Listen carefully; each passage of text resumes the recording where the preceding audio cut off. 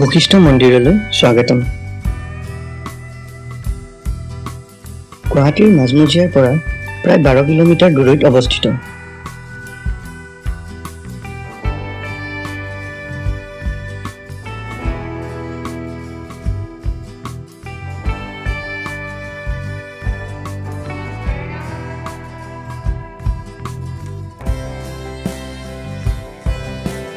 মুখ্য মন্দিৰটোৰ ওচৰতে এটা গণেশ মন্দিৰো বনোৱা গৈছিল।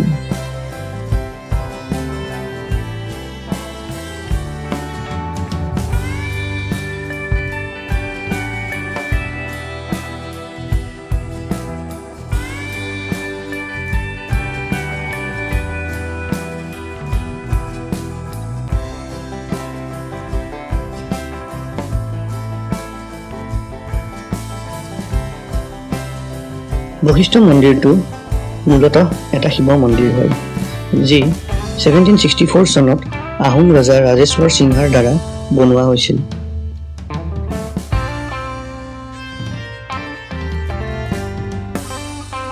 পৌৰাণিক তথ্য অনুসৰি কোৱা হয় যে এই আশ্ৰমৰ স্থাপনা বশিষ্ঠ মুনিয়ে কৰি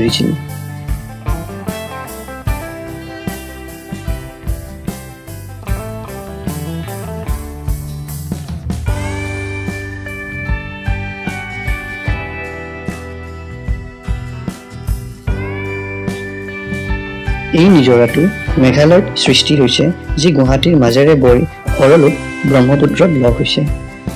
এই নিজৰাৰ পানী গুৱাহাটীৰ গোটেই আৱৰ্জনা বোৱাই নি ব্ৰহ্মপুত্ৰত পেলায়।